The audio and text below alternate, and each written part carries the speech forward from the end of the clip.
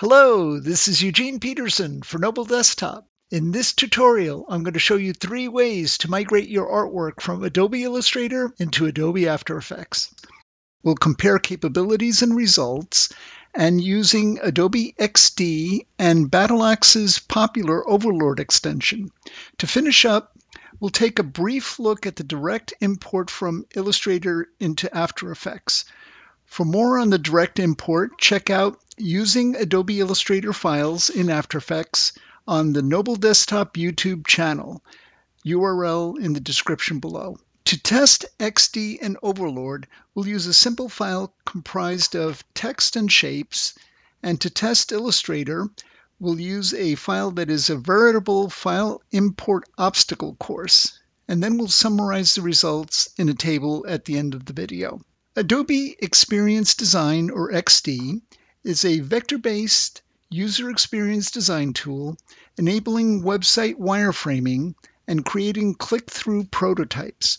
It supports previewing the resulting work directly on mobile devices, so it may be a surprise that XD can import Illustrator files and then actually export them into After Effects.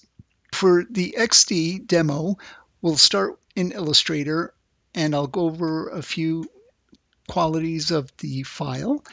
One I'd like to point out is this is one large text object.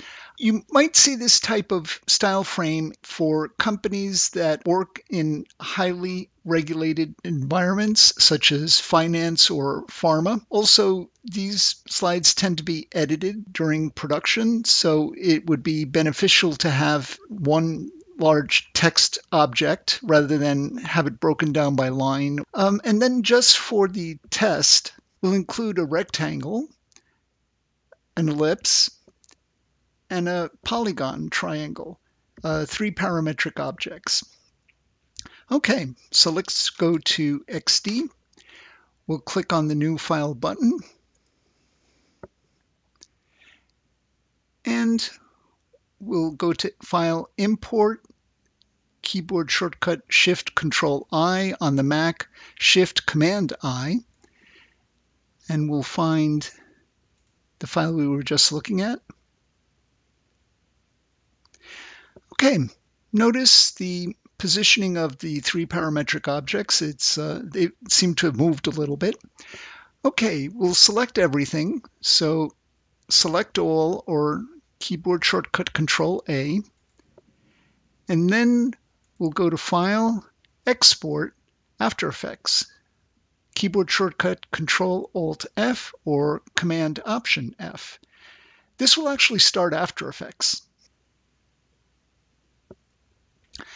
Okay, here we are in After Effects, and yeah, the three parametric objects are still positioned off compared to the Illustrator file, but we do have one live text object that can be edited in a video as needed. And uh, also this is live.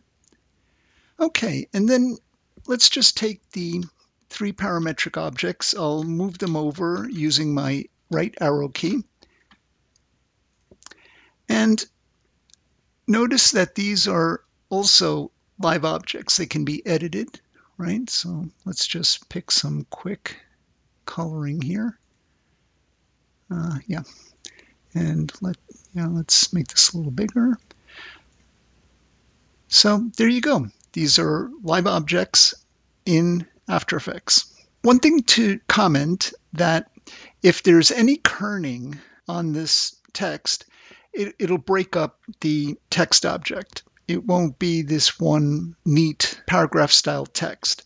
Also note that this is a one-way export from XD into After Effects. There's no going back to Illustrator with this workflow, and also there's no going back to XD in this workflow. So this is a one-time export. XD does a really great job of importing the area text as one object.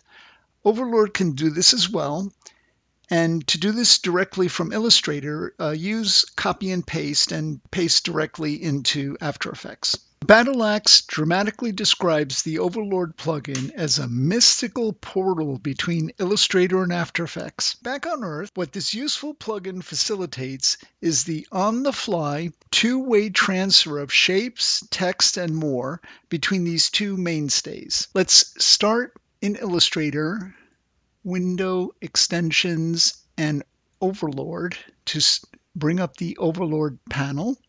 We have to do the same thing in After Effects. So Window, Extensions, Overlord. Okay, the both panels need to be open for this to work. What we're going to demonstrate is the seamless round trip editing using a push-pull method between these two programs, what Battleaxe calls the Stargate. And this is only possible in Overlord. I'll make a new composition and go back to Illustrator. So we'll select everything using the keyboard shortcut Control A or Command A on the Mac. And then we'll use this handy panel to export to After Effects. Notice this split shapes into layers that can be useful.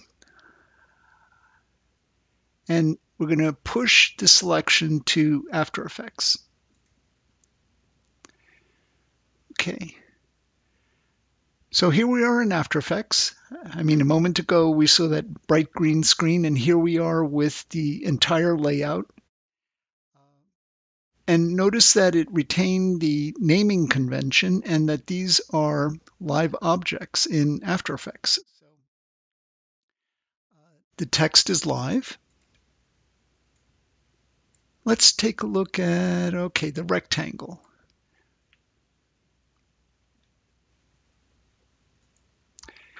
And notice this is live as well. So let's change the color. And let's change the stroke color as well to blue. And let's make it, so you can see this is live editing. Okay, uh, the same thing goes for the gradient. Now, we can also export this back to Illustrator. So how we do that is selecting the object, push selection to AI, Adobe Illustrator. And here we are in Illustrator with the updated artwork. So this only happens in Overlord. Very, very useful. Another thing we can do in Overlord is export swatches to After Effects. So we open the swatches panel and we can select swatches and click on push selected swatches. So that's going to create a guide layer in, uh, you see this little crosshatch type uh, icon. Uh, so this is a guide layer that you can now, we can now use the eyedropper tool to change the color. Okay, and of course, uh, as a guide layer, it won't render. You can always turn it off. So yeah, a very unique collection of capabilities, very useful plugin. For our direct import from Illustrator into After Effects, we'll use this file that has quite a few interesting objects. So I'd like to call your attention to this layer mode.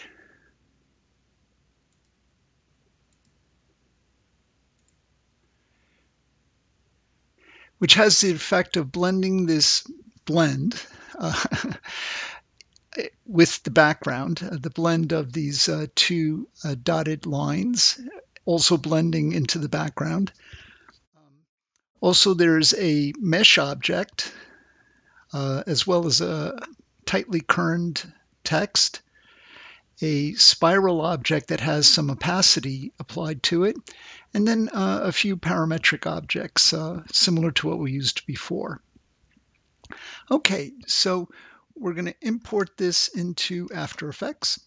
So use File, Import, File, or the keyboard shortcut Control or Command I.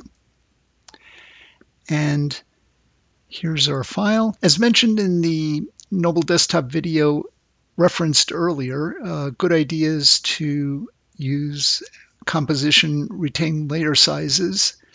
So we'll import that. And here it is, perfect. Notice the layer modes are maintained and the mesh looks great. Uh, the opacity, the kerning, all of it imported correctly.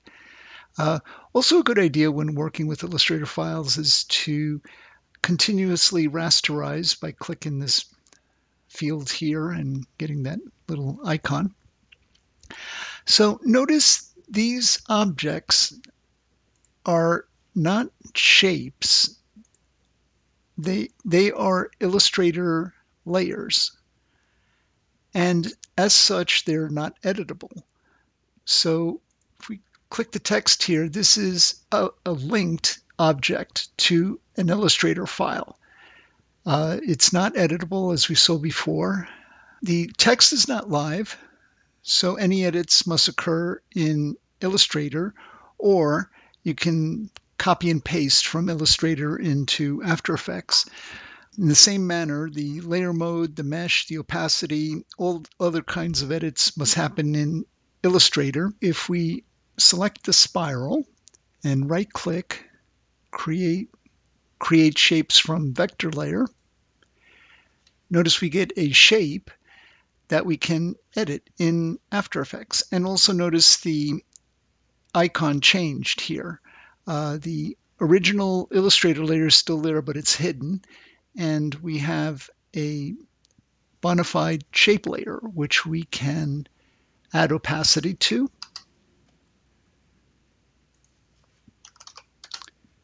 And there we are. Some other objects uh, aren't as flexible. Uh, if, for example, if we wanted to edit the mesh, uh, that doesn't have a corresponding feature in After Effects, so we would have to go back to Illustrator. Let's select the mesh tool and select our mesh. And then uh, let's change this to some other color. Uh, how about green? Okay, so we'll save that. Go back to After Effects and notice it updates. So it links dynamically between the two programs, but it's a one-way link. It only works from edits in Illustrator importing into After Effects. I can't edit something here like the spiral and send it back to Illustrator. So only one way. Here are the results tabulating the strengths and limitations of each option. In this video, we highlighted what each app does best, and it's clear that no app does it all. Let's review and elaborate on these features. So 100% accurate import. You will remember XD and Overlord had simple test files. Only Illustrator can handle complexity like mesh objects and layer modes accurately. Editable text.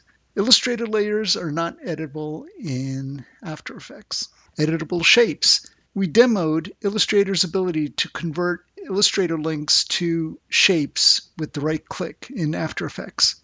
Push link to After Effects XD is a one-way trip. Push-pull link to After Effects, only Overlord can perform. And color swatches, we saw that Battleaxe Overlord handles that. We didn't talk about is CC libraries, which Adobe Illustrator and Adobe After Effects both have access to. So you can save your swatches from Illustrator to the CC library, Creative Cloud library, and view those in After Effects. That's all for this tutorial. I hope you've enjoyed learning three ways to migrate your artwork from Adobe Illustrator into Adobe After Effects. This has been Eugene Peterson for Noble Desktop.